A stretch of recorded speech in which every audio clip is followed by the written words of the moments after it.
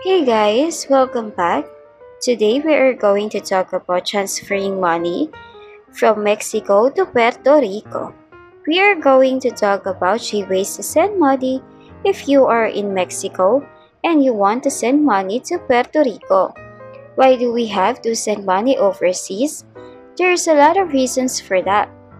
Whether it is for buying or selling properties, helping a family or a friend, living or traveling abroad, paying buy from international supplier, or for emergency purposes and so on, we wanted to make sure to have a fast, safe, and secure transaction. Transferring money from Mexico to Puerto Rico, we have these top 3 ways for you. Our first option is the WISE, formerly known as TransferWise.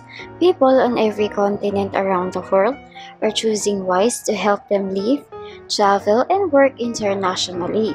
They have the fairest and the easiest way to send money overseas. Using WISE is as simple as sending money from A to B, but behind their app and website is a complex engine of currencies that is being designed, built, and powered by their talented teams in cities around the world. And to know more about WISE, just check the video description.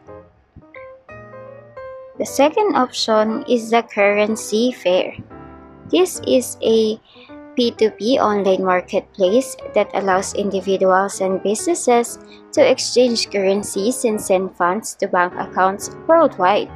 It uses a unique person to person online marketplace to facilitate currency exchange between users in a simple and anonymous fashion.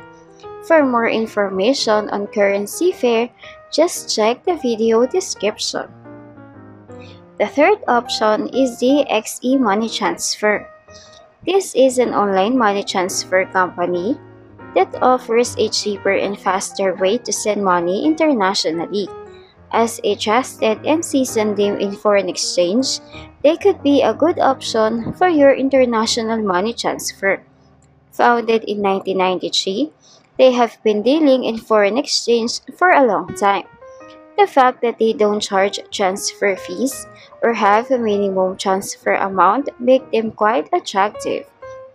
And to know more about XE Money Transfer, just check the video description. Money transfer companies and government change rules all the time.